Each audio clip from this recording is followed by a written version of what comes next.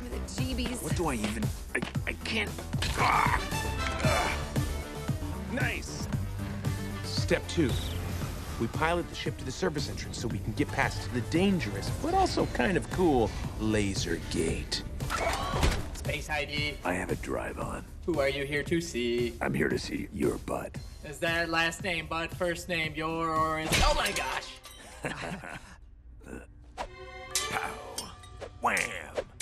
Kazap. First try. Step three, we break into Lord Business's office and we'll plunder his collection of relics for disguises. Step four, Benny and Metalbeard will sneak their way into the master control room. Motion sensors triggered in Sector 12. 10 4.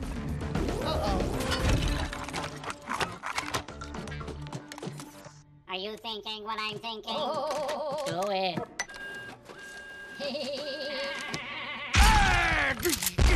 Metalbeard, that was awesome! First law of the sea. Never place your rear end on a pirate's face. Once inside, they'll use their technical know-how to disable the Kragle shield. I am the computer. Cool, talking computer.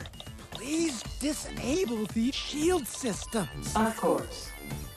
There are no movies in your area with that title. Ah, Step five, Vitruvius will provide lookout and make sure we're not being followed. Okay. Step six, Batman and Unikitty go into the boardroom to make one last change to Lord Business's plan. I move that we freeze the universe. Can I get a second on that? I second.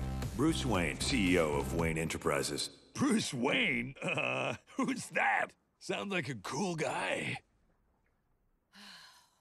We'd like to invest in your company. Your weapon to control the universe sounds super sweet, I must say. It is indeed super sweet. cool. What kind of sound system does it have? Uh, sound system. Well, I mean, we have an iPod Shuffle. Wait a second. You're telling me that you have a machine to control the universe and you can't listen to tunes in surround sound? Embarrassing. Well, we, we I mean, we we need to get that done. I want eight foot speakers. Great call. Yeah, I want speakers that you can hug with your arms and your legs and just feel the beat. Listen up. We need new instructions for a speaker system for the taco. We'll never help you. Whatever you say, boss.